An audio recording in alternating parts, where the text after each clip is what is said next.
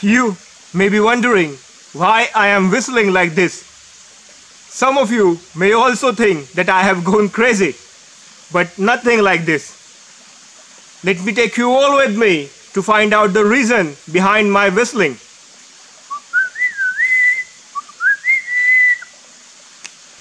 So, here we are in the montane forest. This is pure habitat of a very interesting and special bird, the Malabar whistling thrush, which is known to be a great whistler of the montane forests in western Ghats of India. Now let's have a close look over these wonderful birds. Malabar whistling thrush.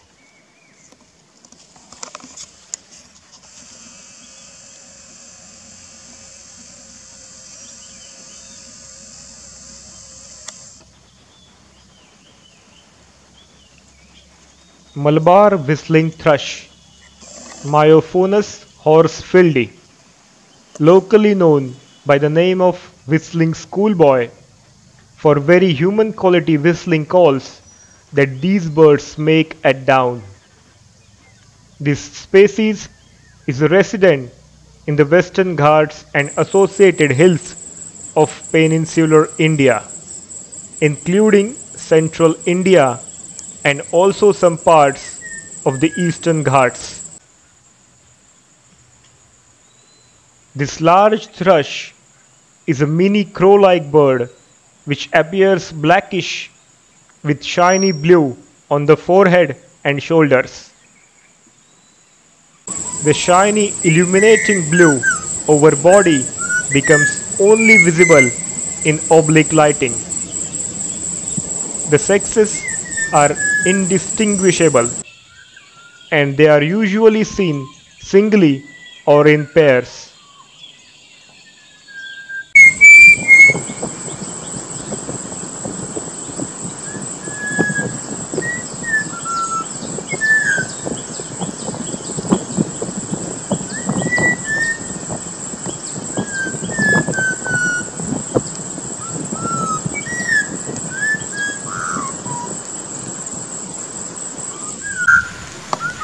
Malabar whistling thrushes are usually found in dark undergrowth and dense riverine forests, especially preferring montane forests.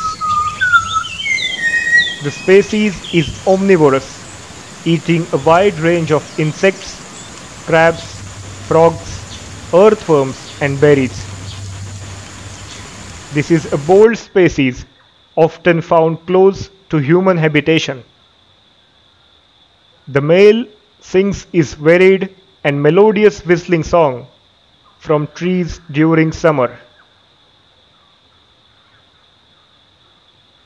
They may sing for a long time at dawn, but at other times of the day they often utter sharp single or two note whistles.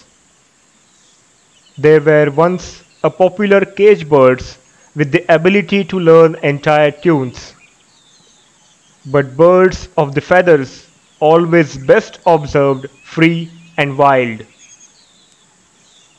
I have also observed them with a unique dance move like the birds of paradise do. In western Ghats, montane forests are the best to observe activities of these stunning thrushes.